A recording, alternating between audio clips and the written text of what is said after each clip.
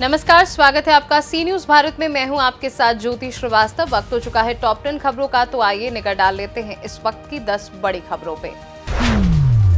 शिक्षक दिवस पर आज 50 टीचर्स को नेशनल अवार्ड से सम्मानित करेंगी राष्ट्रपति द्रौपदी मुर्मू। अमित शाह से मिला आरएसएस, वीएचपी का प्रतिनिधि मंडल बांग्लादेश पर सौंपा ज्ञापन। अरविंद केजरीवाल की जमानत पर सुप्रीम कोर्ट में सुनवाई जारी। सीबीआई की गिरफ्तारी को दी गई है चुनौती। आज महाराष्ट्र दौरे पर रहेंगे राहुल गांधी। पूर्व मंत्री पतंगराव कदम के स्टैचू का इनॉग्रेशन करेंगे। कोलकाता रेजिडेंट डॉक्टर के माता पिता का आरोप, पुलिस ने हमें रिश्वत देने की कोशिश की। हरियाणा चुनाव पर सुप्रिया श्रीनेत का बड़ा दावा, राज्य में कांग्रेस की सुनामी आ रही है। पूर्व ट्रेनी आईएएस पूजा खेडकर मामले में आज दिल्ली हाईकोर्ट में होगी सुनवाई। सांप का जहर सप्लाई करने के मामले में आज फिर एलविश यादव से पूछताछ करेगी ईडी।